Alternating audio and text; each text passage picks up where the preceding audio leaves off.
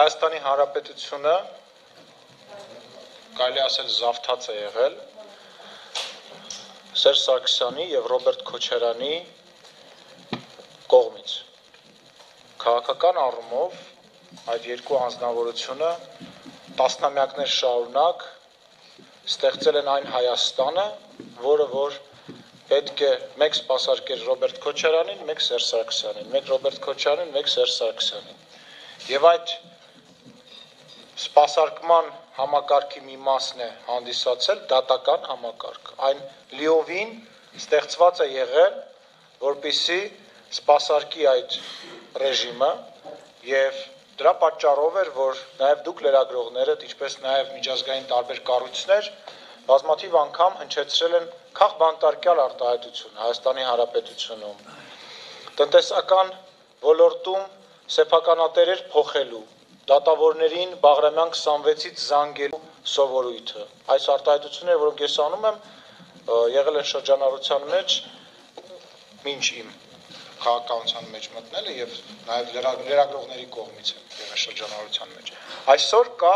խնդիր դատական համակարգում։ Եվ դատական համակարգի կարելի ասել գերակշիռ մասը այսօր այդ պատճառով ենթակա է վերանայման։ Մենք փոխեցինք իշխանությունը, մենք ասելով ես նկատի ունեմ Հայաստանի Հանրապետության ժողովրդին եւ հետո խնդիր առաջացավ օրենսդիր մարմնի հետ, դուք հիշում եք, դուք մեջբերեցիք Գևորգ Պետրոսյանին, ես եւս մեկ անգամ չեմ զլանա կհիշեցնեմ նույն ճակերտավոր ազնիվ մղումներից դրթված հոկտեմբերի 2-ը, երբ փորձ իրականացվեց կանգնեցնել համաժողովրդական շարժումը, կանգնեցնել հեղափոխությունը եւ ուզում եմ գախնիկ բացել այսօր ձեզ։ Դրանից հոկտեմբերի 2-ից մի քանի օր առաջ ազգային ժողովի Բաքում տեղեր ունենում տոնակատարություն պարլամենտի հավորամյակի հետ կապված եւ ես նույնպես հրավիրված եի եւ այնտեղ հանրապետական կուսակցության այն ժամանակյա падգամավորներից երկուսը ինձ ասացին հետեւյալը որ ոչինչ քիչ մնաց դուք մենք ձեզ թերագնահատեցինք բայց հիմա դուք եք մեզ թերագնահատում կտեսնեք մի քանի օր անց ինչ կլինի ես նույնիսկ կարող եմ անունը տալ բայց չեմ ուզում գովազդել այդ անznավորություններին եւ ես անկեղծ ասած չհասկացա թե ինչի մասին է խոսքը այն ժամանակ եւ տեղի ունեցավ հոկտեմբերի 2-ը որի ժամանակ փորձ կատարվեց կանգնեցնել այն ամենը ինչ որ սկսվել էր Հայաստանի Հանրապետությունում Հիմա կա դատական իշխանության խնդիր եւ դա փաստ է։ Եվ դա փաստում են ոչ միայն իշխանության ներկայացուցիչները։ Նույն Տիկին Տոնոյանը ասում է, որ Հայաստանի Հանրապետության դատարան համադական դատարանի անդամները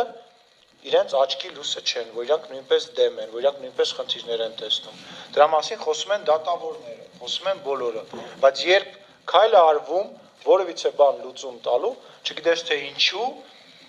շահարկվում է այն բանը, որ իշխանությունը փորձում է ձևավորել դատական իշխանություն, որը որ իրեն հա-, հարմար կլինի։ Եթե նման քայլի գնալու լինեինք, այդ համակարգը ի սկզբանե ստեղծվել էր սпасարկելու համար։ Ես ուզում եմ եւս մեկ անգամ շեշտել, խոսքը չի գնում բոլոր դատավորների մասին, դատական համակարգում կան բազմաթիվ պարկեշտ անձնավորություններ, մենք խոսում ենք խնդիրների մասին։ Եվ այդ համակարգը պատրաստ է եղել սпасարկել օրվա իշխանության պահանջները եւ իշխանությունը դրանից հրաժարվել է եւ ակնհայտ դուք տեսնում եք այն բռնել բաց թողելու դեպքերը այն դեպքերը երբ որ խափանման միջոցներ ունենք խափանման միջոցներ են ընտրվել որոշ մարդկանց հետ կապված որի հետ ես օրինակ որպես իշխանության ներկայացուցիչ ու իմ գործընկերները կարող ենք համաձայն չլինել մենք ուզում ենք ձևավորել դատական համակարգ որը որ կգործի անկախ որպես իշխանության երրորդ ճյուղ։ Սա է իրողությունը եւ որևիցե ավել բան այս ամենի մեջ չկա ու չի կարող լինել։